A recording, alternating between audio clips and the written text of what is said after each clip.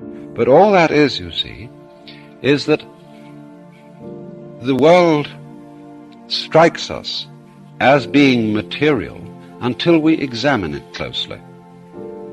In other words, a distant nebula in the heavens looks like a solid star until you turn a giant telescope on it and you make out the clear pattern of a spiral nebula.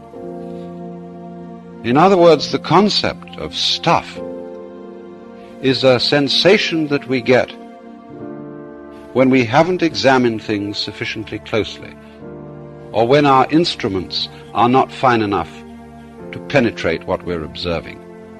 But when the instruments are fine enough, what we get instead is pattern, and pattern is simply a form of behavior, of activity.